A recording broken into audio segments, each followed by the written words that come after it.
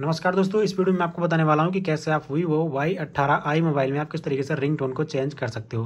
दोस्तों ring tone change करना बहुत ही सिंपल है। सबसे पहले फ़ोन की सेटिंग को ओपन करिए एंड नीचे की तरफ़ आइए। यहाँ पर ऑप्शन दिख जाएगा साउंड एंड वाइब्रेशन इस पर क्लिक करना है। उसके बाद आपको क्या करना है? नीचे की तरफ़ आना है और यहाँ पर ऑप्शन मिलेगा फ़ोन रिंग टोन इस पर क्लिक करना है।